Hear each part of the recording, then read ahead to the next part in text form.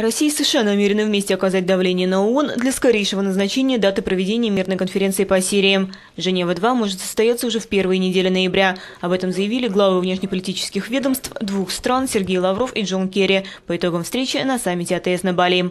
По словам Керри, окончательная дата будет зависеть от решения Генсека ООН и спецпосланника по Сирии.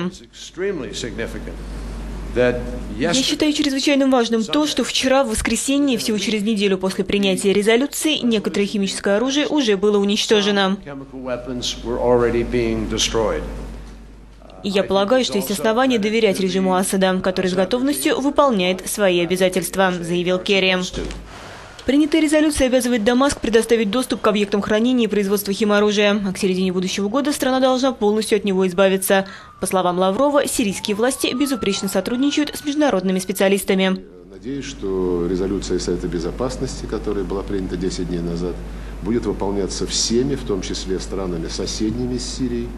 Заявил глава российского МИДа.